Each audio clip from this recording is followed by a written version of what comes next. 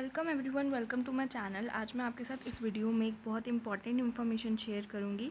Six new medical colleges जो तेलंगाना में खुलेंगे मतलब टोटल 900 सीट्स इंक्रीज़ होंगी तेलंगाना में। सारे के सारे कॉलेजेस गवर्नमेंट टाइप कॉलेजेस हैं। जब भी इनका फ़ीस स्ट्रक्चर अपलोड होगा, मैं आपके साथ ज़रूर से शेयर करूँगी।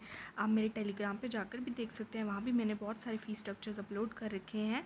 ठीक है, तेलंगाना में जो पहला है, वो है government medical college Sangareddy government type one seats दूसरा है government medical college Nagarkurnool, government type 150 government medical college Kothagudem, government type 150 seats, government medical college Jagtial government 150 seats, government medical college Mahabubabad 150 seats, government medical college Wanaparthy, government type 150 seats. तो मतलब total देख सकते हो आप 150 seats हैं और six colleges हैं तो टोटल मतलब 900 सीट्स हो जाएँगी।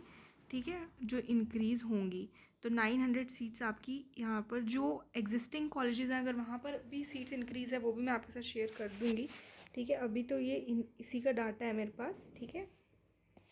अगर कोई डाउट होगा तो मुझे कमेंट करके पूछ लेना थैंक यू